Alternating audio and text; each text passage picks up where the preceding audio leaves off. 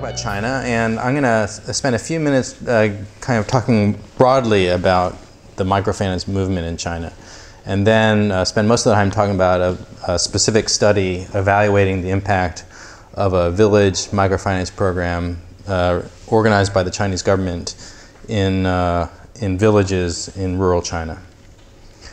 Uh, so uh, China, like many other developing countries, still has a financial system which uh, is regulated and dominated by state-owned banks. And uh, this creates a system of credit rationing where there are a lot of people who would like to get low interest loans, uh, but uh, cannot. And so there's, uh, for many years, been a concern in China that rural households in particular often find it difficult to gain access to credit partly uh, because the size of their the loans that they want to demand is is very small and considered very inefficient from the standpoint of many banks when we're in a country in China where there's so many firms and so much industrial activity uh, that it's kind of a neglected uh, sector. There is, of course, uh, financial institutions that do uh, service rural areas, and the dominant institution in China is uh, the rural credit cooperatives, which are not really cooperatives. They're really still state owned or state organized uh, entities that are uh, governed by local agricultural banks, uh, which is a state bank in different areas. But they reach down to the township level, and uh, that's the closest place that many rural people can uh, make deposits and get loans. Uh, so I've been working on microfinance. Uh, well, I worked on microfinance a lot in the past. I haven't in some time, and so this is actually a, a, new project that brings me back to the microfinance world. And I wrote an article uh, published about a decade ago about microfinance with uh, Chinese characteristics, and it uh, described the initial evolution of microfinance. This was a movement that uh, was popularized by the Grameen Bank, by Muhammad Yunus, especially in the 1990s. And in China, all of the development organizations in the mid to late 90s were very eager to establish microfinance uh, programs. Uh, these were mainly led uh, by organizations that wanted to alleviate poverty. So they were very targeted. The interest rates were low, and they generally followed the Grameen model of group lending. You find five borrowers, you're jointly liable for repayment, you pay, repay every week uh, etc. Now, the government also got involved in the microfinance movement uh, in the early 2000s and started a very large-scale microfinance program, also not, not by the banks, but by the Poverty Alleviation Office as a poverty reduction model. And they did these uh, with uh, state-provided subsidized credit targeted to poor households, and they did it in many, many, in thousands of villages in China we did an initial evaluation way back then and found that the non-governmental programs performed pretty well, high rates of repayment, some evidence of impacts on income of rural households. And actually, even if you evaluated the operating costs, they were done fairly cheaply uh, because the cost of staff and space and administration at that time was still very relatively low in China. But the government programs performed very poorly. They were badly targeted uh, and uh, they had low repayment rates, partly because they were scaled up kind of in a blind fashion without much attention to making sure the model was being implemented true to its kind of founding principles.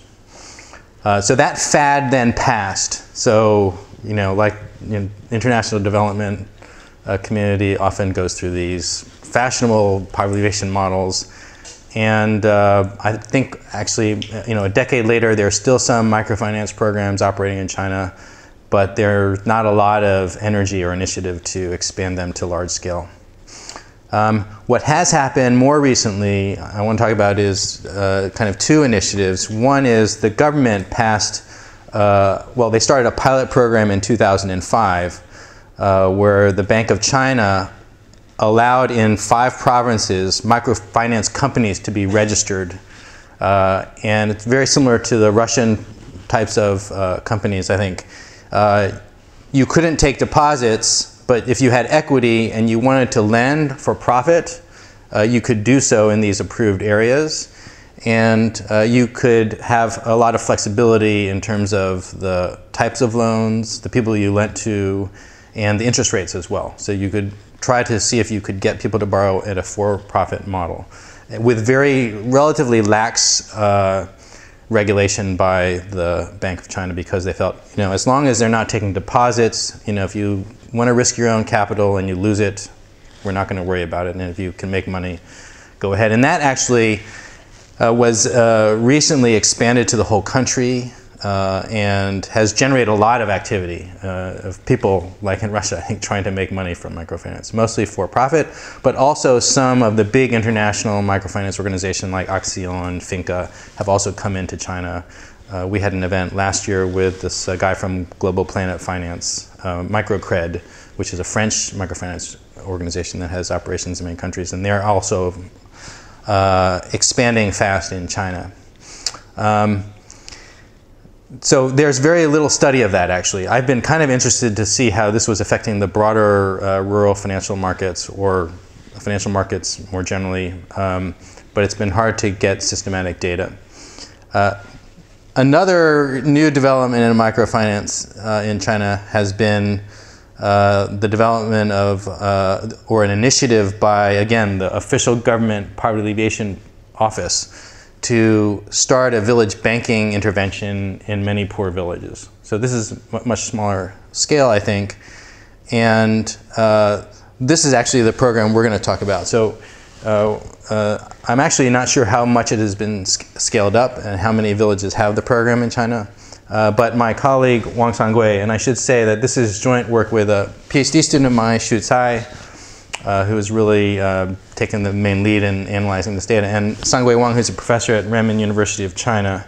And Sangui is a very well-known poverty expert in China and often consulted by the Chinese government on poverty programs. And he was uh, he worked with the government to do a randomized control trial intervention where they piloted this uh, village banking intervention in a randomized fashion, uh, which I'll describe in a minute. And so uh, obviously that enables us to do much more convincing evaluation. And so this is very, this is the first time we've presented uh, these results. It's a very new uh, paper. Okay, so this is just a quote I found online uh, that describes the current landscape of microfinance in China. Uh, so China also is a relatively newcomer but uh, there are now something like 6,000 microcredit providers. Um, many of them um, are relatively young. This is this recent explosion, you know, I think related to the microfinance law.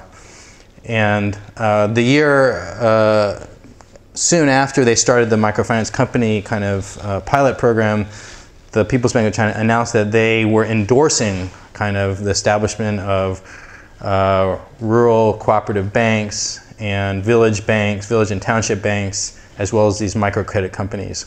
Um, and so uh, there's now uh, more open space for innovation in this sector, and Alibaba, as many of you know, is now also getting, uh, is aggressively trying to enter the uh, loan space, probably more on the consumer credit side through its Ali Finance arm. Okay. All right, so um, before getting into the, the results of our kind of impact evaluation study, uh, just want to say a couple words about the recent academic literature that has tried to evaluate microfinance interventions in other countries. Uh, the Grameen model has been widely questioned about whether group lending is an important aspect of success in microfinance, but it has obviously been, uh, and still is, I think, viewed as a, a great uh, success model for uh, reaching the poor and influencing uh, poverty. There have been a lot of mixed results uh, on how much increasing credit access through these microfinance interventions actually improves the incomes of rural households. Uh, and so we had a, a well-known expert in this area give a talk in the economics department uh, last week, and uh, he seemed to convey that there's a growing sentiment that the evidence of impacts is actually very weak. That uh, there's studies that have found no impact of randomized controlled trial microfinance programs on income gains. Um, in particular, a study by Banerjee and others has, has been uh, received a lot of attention, uh, where they argue that at the margin, the microfinance loans may kind of shift the economic activity of some households in noticeable ways, but if you just add up the income, it doesn't actually have a big effect. Um, so that raises into question, it could be, of course, that existing sources of credit supply are meeting the demands for good projects sufficiently, you know, the informal credit or the banking system. So the question is whether there is really is this window for microfinance to offer something that the market, the current market is not uh, meeting. And of course, this could vary quite a bit in different institutional contexts. So that's kind of the background. It's now a very contested issue. Do microfinance programs really work in terms of affecting uh, income growth and influencing economic growth? All right, so we're going to look at uh, this uh, randomized control trial intervention, which is a village banking program. It's a model that is being promoted by uh, China's official government uh, poverty alleviation office. And uh, just as a preview, we're going to find actually in our study that there are fairly substantial gains to income in, uh, in rural China. And most of the loans uh, that are being taken in this program are for agriculture, so for cropping, livestock, uh, rural activities. Although, of course, money is always fungible, so uh, we'll, we'll look at a bunch of impacts to see uh, what's really changing in the behavior of the households. And we're going to argue that uh, one reason why we may be seeing bigger income impacts in China than in other places is related to the development of factor markets that um, not only is there a credit access issue in rural China as, as in many places, uh, there's also issues related to the uh, mobility of labor in the labor market. And this provides more space for a, for a loan to actually uh, increase the profitability of household activity. And I'll be more specific about the explanation uh, at the end. Um, and so, so at least we're contributing uh, and providing a fairly strong contribution to literature saying, hey, at least in, in, in certain contexts, in, in China in particular, uh, these interventions can really matter and lift uh, uh households out of poverty.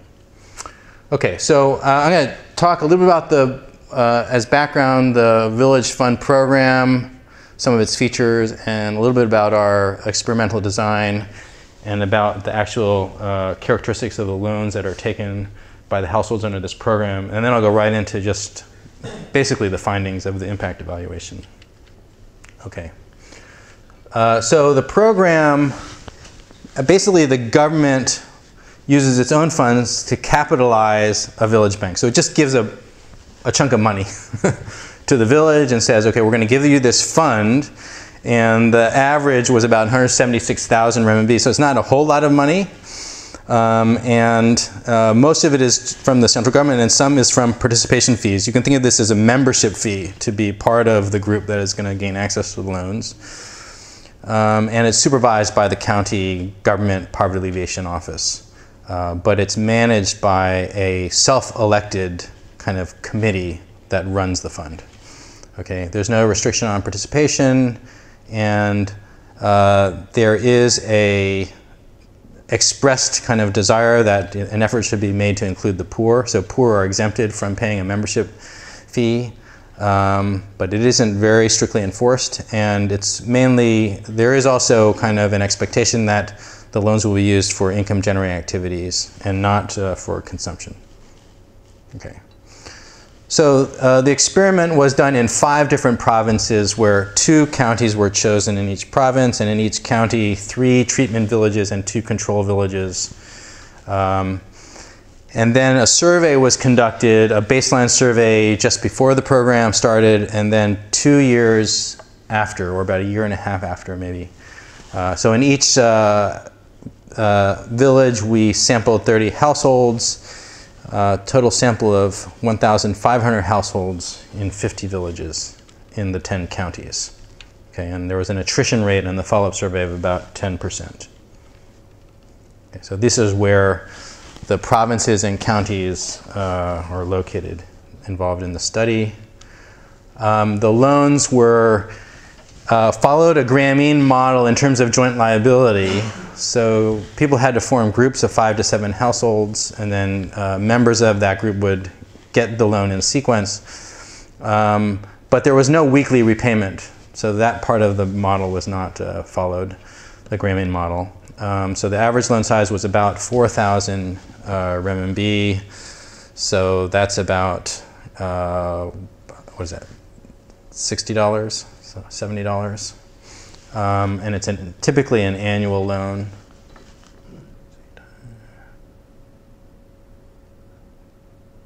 Is that right? 400,000. Yeah, okay, right. Um, and the interest rate, so uh, the groups were able to set their own interest rate, and they tended to pick low rates, uh, even lower than the rural credit cooperatives. Um, and it's not clear why they decided to do that. Uh, maybe because they were all, uh, they could all capture some of the rents that way. And of course, if they get successful repayment, then the money will grow with the interest, and then they keep they, they can keep lending in principle this money forever and increase loan sizes as the fund grows in size. So they do have an incentive, I think, to make sure loans are repaid. Otherwise, the capital disappears and the program ends, and no more loans, right? Um, and so there's no collateral requirement, but typically there were uh, guarantors, in particular the other group members. Okay, so uh, I'm going to kind of jump through the methodology. I mean, we do a pretty standard, uh, our main estimate is just an intention to treat effect. So uh, we kind of verify that the randomization was in fact pretty random across villages, and then we just look at how does the income, how does income differ in the treated villages compared to the other villages where we can maybe control for some, some things in a regression setup. But it's basically just uh, uh, relying on the assumptions uh, uh, for the randomization. in addition to just doing an average effect of, you know, how do households in treated villages fare compared to those in non-treated villages, we also try to separately get a sense of the magnitude of the effects on um, the participating households. So, so, even in a village that has the program, some households will participate and some will not. And we're kind of interested in understanding, obviously, how the households who participated are affected, since they're the ones who see the biggest benefits.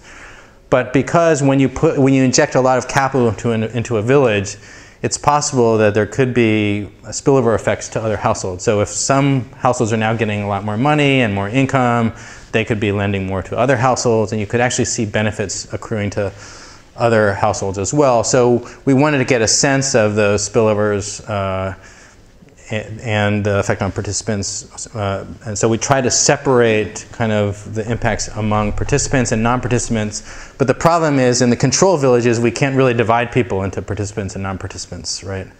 Uh, we can we could maybe do that in the future if the control villages start to lend, start the program, then we can see, you know, who starts to borrow and lend. But at this point, we don't have that. So what we do is we use a, a matching estimator approach where we take the people who actually participated in the treated villages, we just kind of run a regression to see what types of households actually take up the loans in the treated villages. And we use those characteristics to predict in the control villages uh, what kind of house similar, uh, identify households that look very similar to the ones who were taking loans and do that kind of comparison. We can do that separately for the participating households and the non-participating households. So it gives us some insight, but it relies on this assumption that we can capture participation by the observable characteristics and so is subject to certain types of biases and doesn't really exploit the power of the randomization the same as the kind of total effect on the all of the households in a village does.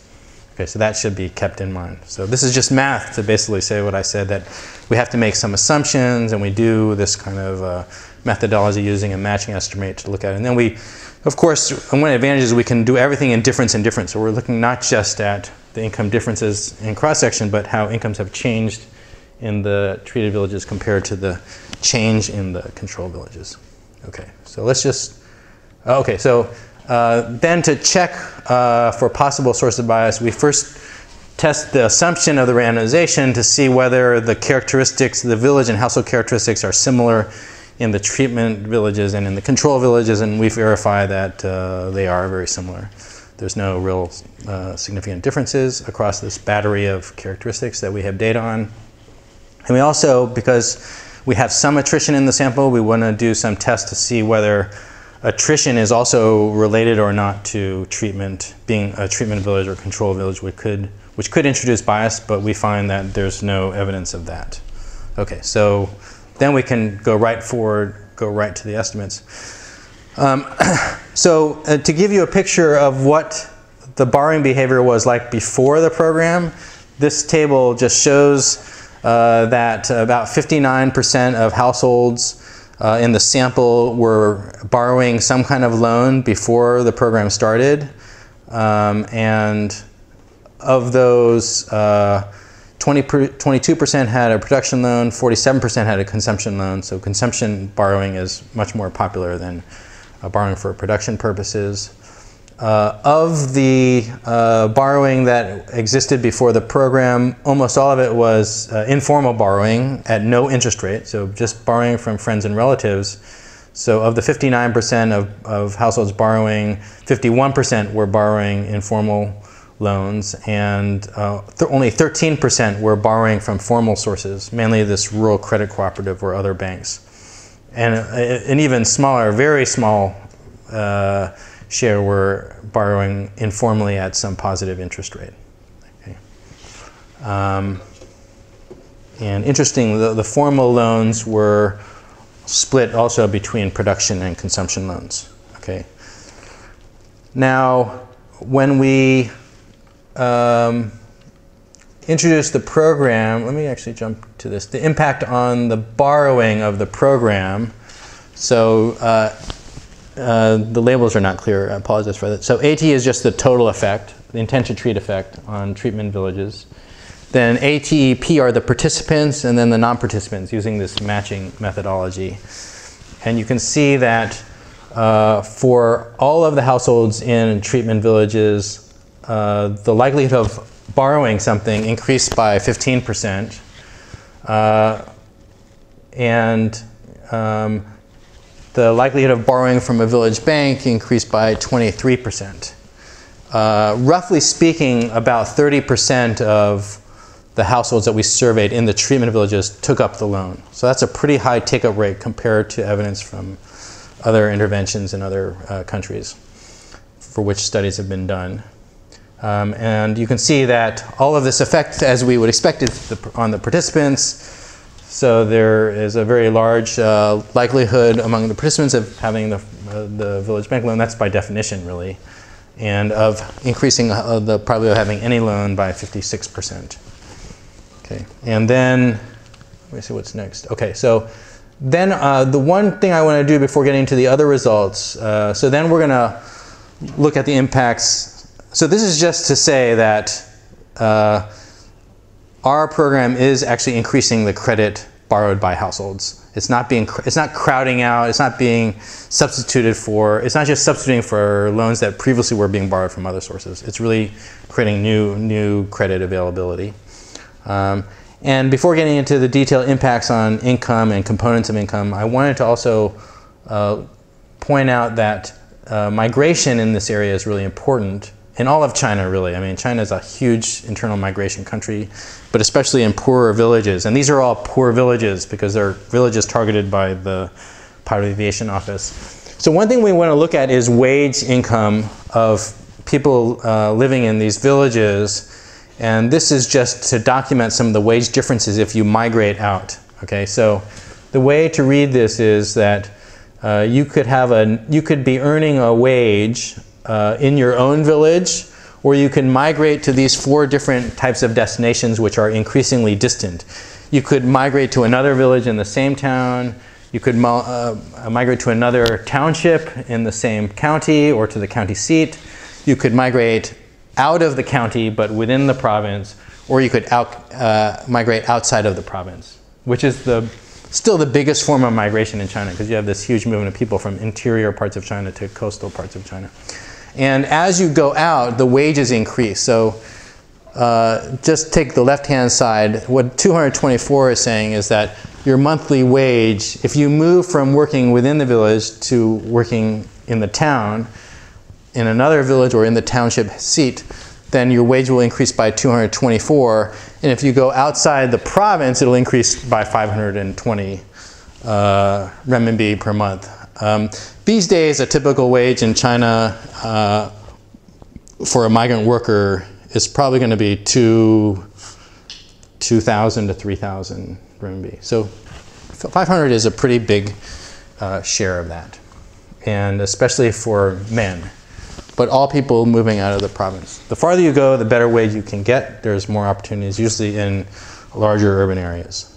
Okay, that's important because obviously, uh, one suspicion I had in doing this evaluation was that you know in China everyone now migrates for jobs and they're pretty good jobs at pretty good pay now. So maybe microfinance doesn't really matter, right? Because people are getting a pretty good return on their labor. And so why do we want to fund like rural activity in poor villages uh, or agricultural activity in poor villages? Uh, so I was kind of, kind of thinking maybe we wouldn't get a huge result, and the, we kind of feel like the labor market is pretty well developed in China. I've made that point many times in talking to people about the labor market in China. Okay, so we'll see what happens.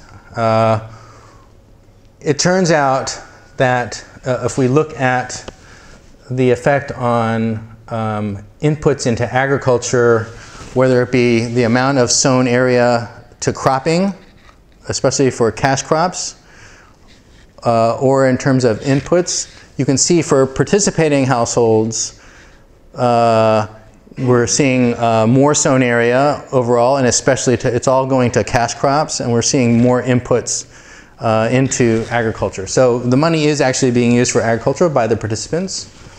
Um, and when we look at animal husbandry, we also see evidence that the money is increasing uh, the investments in terms of the inputs and the total expenditure on these uh, kind of agricultural business activities.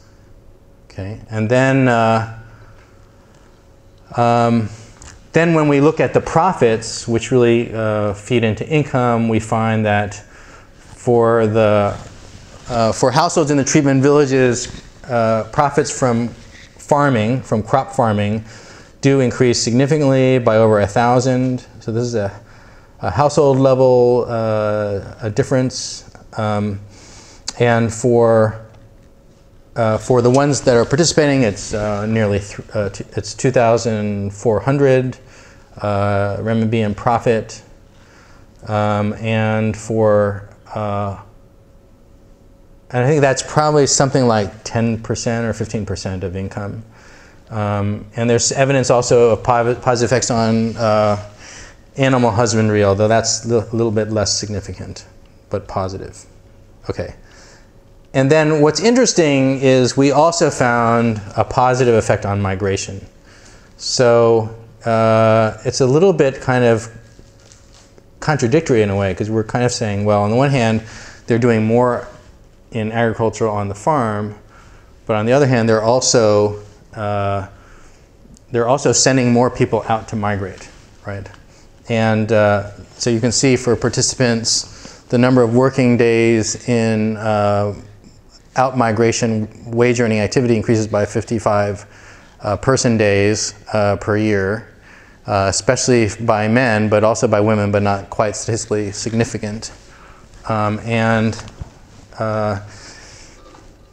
and so, um, how do you reconcile kind of increases both in migration and on farm earnings? Well, it only makes sense if the labor market is kind of not working very well and you need finance to uh, well, there's two models that we kind of have in mind for trying to understand that. One is that um, there's a, kind of a capital constraint to migration. In other words, that it actually costs something to migrate, and people uh, have a lack of cash reserves, and so part of the loan can actually be used to help finance people to go migrate, and some of the loan can also be used to improve the productivity of agriculture at home because they're constrained on both margins. So if you're constrained on both margins and you get a loan infusion, you're going to expand across both margins and you'll get both positive effects. The other story you can tell is that the increasing agricultural productivity uh, for a subsistence model of agriculture, uh, by increasing productivity, households may be able to achieve kind of some target level of cropping income or self produced grain to feed themselves with less labor. And so it releases surplus labor to go off farm into the labor market and earn income. That's the idea that before we think about migrating, we're definitely going to make sure we produce enough uh, food to feed ourselves, right? But not much more than that because it's not that profitable. And so raising productivity in agriculture can actually release labor to take advantage of more profitable off-farm activities. So you could think of either of those models. Okay, and then um, within the home, so I mean, the non-migrant uh, labor supply for wage employment is negative across the board, uh, but not as big as those positive effects, and so not, not statistically significant.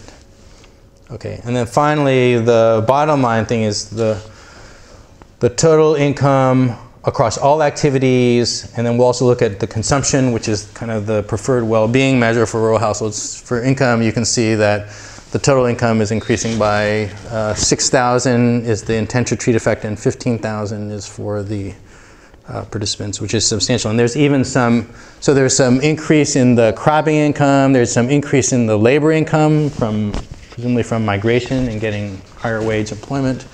Uh, but also we see an effect on the uh, business in income, the self-employed business income, which is non-farm uh, kind of activity.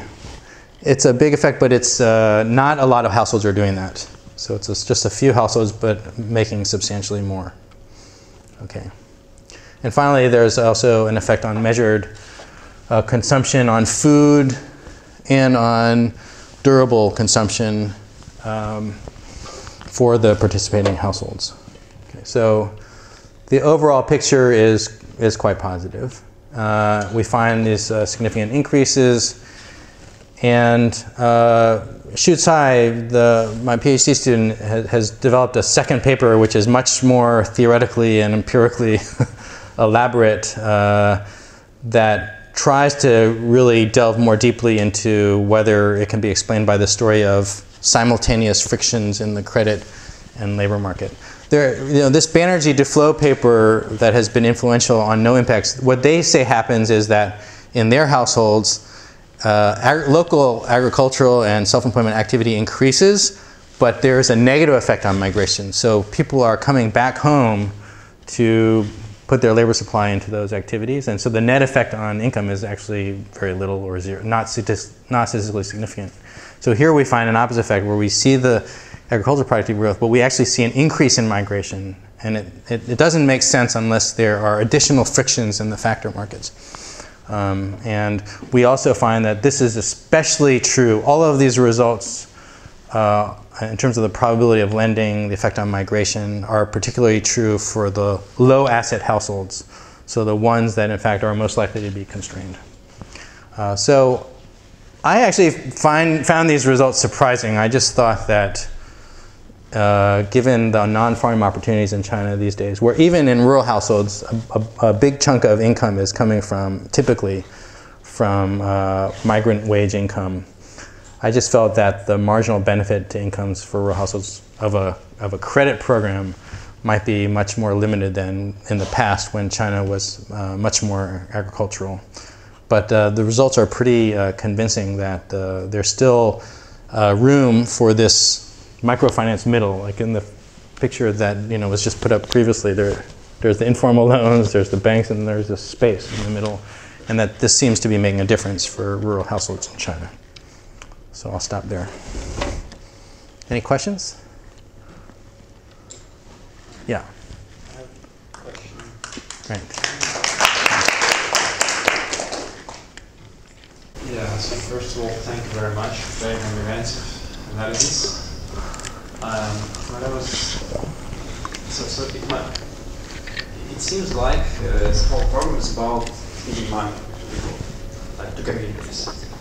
And when I think about will it be working in Russia, the answer, in this way, the answer is no. Because you cannot just give money. You need to educate, to provide some infrastructure, training, mentorship, etc., etc. So the question is, is it only about money or there's a whole system which supports the process? So do you send any uh, mentors there who will help them to use the money properly, the, pro the project the project doesn't. The government has its own program. I mean, the government has a. Uh, I mean, the government has programs in China for almost everything, and including uh, local governments are often trying to support development projects, and they will try to organize training or try to encourage farmers to grow new types of crops using new technologies. And there so will be there always will be some of this kind of activity. Uh, people will differ on whether they think that what the government is pushing is usually you know necessarily in the best interest of households or carries uh, inordinate risk or not. Um, but uh, there is that kind of. But I, my, my feeling here is that uh, a lot of the activity is not new technologies. I mean, there is a cash crop benefit here, but probably it's mostly about the cash. I mean, because cash crops are much more input intensive than uh, grain crops. And uh, yeah. What are the typical cash crops? Oh, uh, this is across five provinces, so it'll probably be different uh, in different places. In, uh, but they're all kind of in poorer uh, locales. So uh, I think typical cash crops might, might be like rapeseed oil, uh, that a lot, at least a lot of, in Western China. Um, but in part of these, uh, one of the provinces, Sichuan, I don't know what other cash crops they grow in other places. Yeah, I'm not sure. Yeah. It's a good question, though. Is there a uh, pattern that men are more likely to migrate than women? Because that the figures you showed for the differences in wages when they go out, uh, the females actually were lower and there was actually one negative. Yeah, the effects are stronger and more significant for men than for women. There is some, there's a positive effect on female migration as well, but not significant. So, yeah, I think it's more men than women. And so then, uh, would the women be more likely to be taking on more agricultural work and then the men will migrate? We don't see that. Uh, we don't see a, a big labor supply effect on, on, on agricultural activity. So they're doing more profitable agriculture. It seems like they're moving into cash crops and maybe expanding animal husbandry, which takes less labor, but uh, doesn't look like, at least not in a significant, statistically significant magnitude.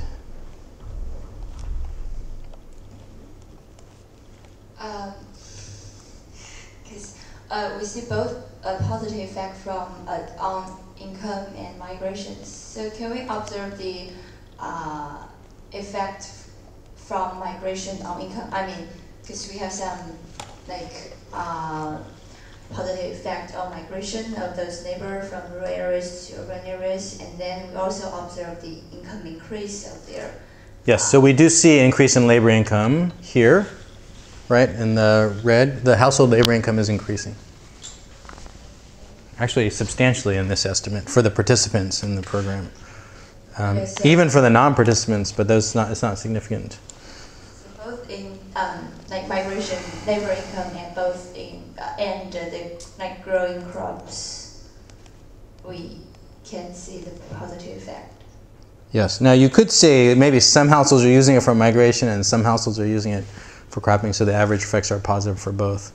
Um, uh, so we should check that, but I think uh, I think it's I think many households are maybe doing are, are expanding on both margins. Yeah. What's your hypothesis about what's happening to the non-participating households? Because there was no increase in borrowing for them. But you are Yeah, nothing seems to be very significant. There's some magnitudes that maybe are. Let me go back to the borrowing thing. Oh, actually, I thought we found. Let's see. Yeah, this is the borrowing any from any source. Actually, uh, so there aren't a very. There's an effect on the propensity to borrow.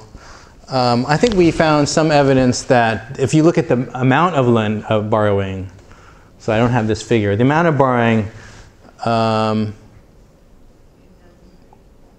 well, no, I think what we found in amount of borrowing is that for participants, it crowds out, of, there is this crowd out of informal loans. So they borrow less from friends and relatives. But for the non participants, I guess we're not seeing much yet. Which is maybe surprising since the income increases seem pretty big, right? So maybe they're not sharing their, found, their newfound wealth yet. I mean, it's also early in the program. Too, right? So Albert, do you think there's a difference because the government is involved in this microfinance program in the sense that, so on two counts, so first, uh, when people get these loans, they're less likely to use it for consumption purposes because they think the government is involved and they can sort of pull them up if they do, if they don't do what they are committed to do. And second, is there local political competition? So when I, as the as a leader, as a political leader in a particular county, see you do this randomized treatment in my county, it's sort of a prestige issue that I want to sort of you know push this program to be successful. Maybe I'll get more loans in the future. Maybe the central government is going to monitor me and give me a promotion and so on. Right, those are very good questions. Um, yeah, so the biggest concern was somehow that you know they've they know it's a pilot or something, and I don't think that's the way it was presented. You know that if you do a good job here, you'll uh, you'll get a lot more money. Um, uh, but we don't have direct data on the monitoring effort of uh, government officials. I think our sense, and I'm not as, inv- as involved in the direct intervention as, as my colleague Sangui was, so I should ask him if he has any uh, thoughts or evidence on this. But our sense is that you know these are still pretty remote villages, and so there's not a lot of uh, presence of the uh, government officials there. Um, but yeah, that's in that's in. I think and, and not just the government officials, the involvement of of researchers in the project also is different, right, than if you scaled up the program nationally, let's say, where maybe the maybe the researchers went in there and trained people better or did a better job, you know, explaining the models than you know will happen later, or uh, there was a or gave people a sense of greater monitoring intensity, so people didn't didn't want to, uh, you know, abuse the access to the uh, cash. So there's, yeah. So I, so in that sense, probably you should characterize these as upper bound limits of the potential, you know, for a well-run uh, program.